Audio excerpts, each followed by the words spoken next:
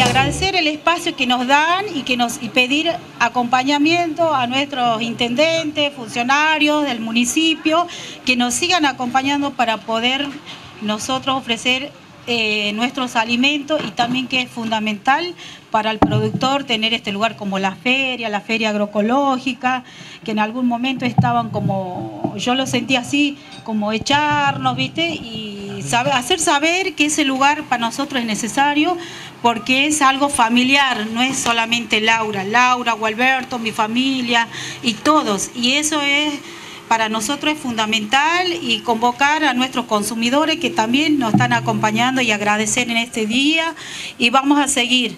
Y, también agradecer a Linta, que está siempre hace años acompañando. A ver, en un momento estuvo el IDEBI, se borró, pero bueno, igual lo queremos.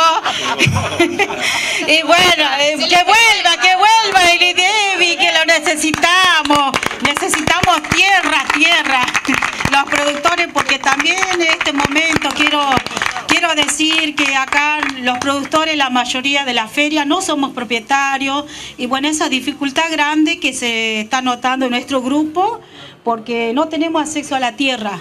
En muchos casos tenemos tierra, pero no tenemos agua. Y ese acompañamiento fundamentalmente me parece que este día es necesario decirlo para que ustedes puedan saberlo.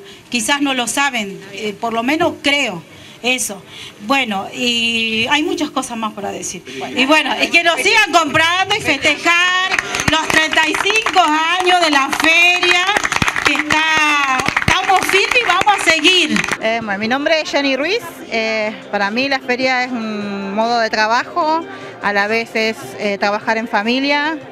se construye lo que es la amistad también acá entre compañerismo, entre productores.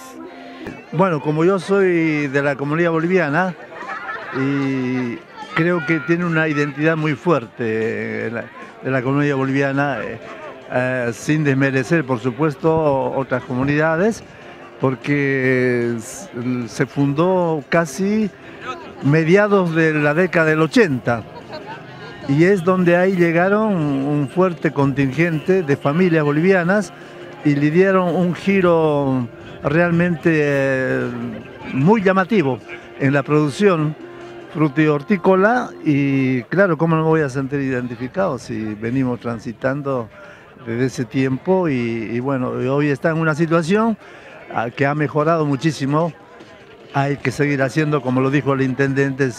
Así es, fue el trabajo de tesis de grado de la Universidad del Comahue.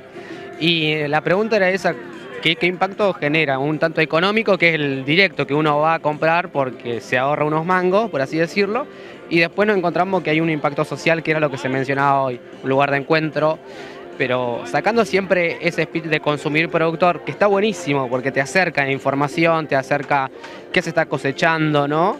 Eh, los productos de estación y también entre ellos mismos, porque muchos de los productores, partiendo siempre de las frutas y verduras, productores viven en el campo, son conocidos, intercambian información, prácticas del campo y lugar de encuentro es acá en la feria. Te veo el martes, te veo el sábado, entonces si no de otra manera lo tendrían que hacer por distancias mucho más largas, ¿no? Lo mismo con los consumidores. Yo, por ejemplo, vivo de dos veces a la semana, eh, estudian mis hijos, mantengo mi casa, impuestos, todo. Vivo de esto nomás y trabajo en el campo todos los días. No, esta es mi familia, para mí es en la feria toda la gente que viene a comprarla, mis clientes, es mi familia, aparte de ser un amigo, cliente, es muy bonito, a mí me encanta. 80.